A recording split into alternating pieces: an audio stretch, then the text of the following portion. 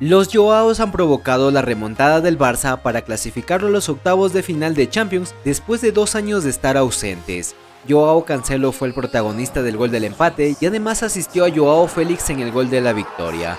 La celebración de Joao Cancelo es como la de un hincha más. Corría hacia la banda y se tomaba el escudo mientras lo celebraba con toda la rabia y euforia del momento. Sin duda un tremendo gesto que ha contagiado a sus compañeros para reaccionar en el encuentro y así asegurar el pase a los octavos de final. Con goles de Cancelo y Joao Félix, el Barça de Xavi finalmente alcanza los octavos de final de Champions, un logro que tenía que celebrarse por todo lo alto después de dos años de estar ausentes. Así lo festejaba la plantilla en su regreso al vestuario.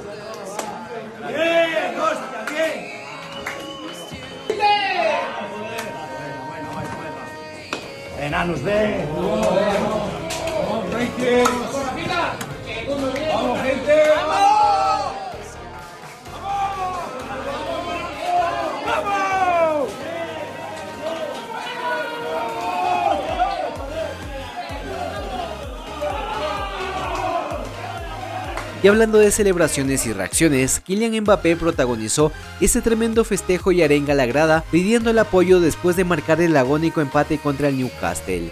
Desde el punto penal Mbappé marcaba el gol en los minutos finales, un gol que significaba el empate y además le permite al PSG salir del tercer puesto de Europa League que se encontraba hasta ese momento y se pone en zona de clasificación a los octavos de final. Un partido durísimo que terminó con Mbappé ofuscado y frustrado a pesar de salvar a su equipo, Muestra del mosqueo que tenía Mbappé fue este breve roce que tuvo con Trippier al final del partido. Mbappé le reclamaba algo al central pero la cosa no pasó a mayores. Mbappé termina con la cabeza caliente pero logrando salvar a su equipo.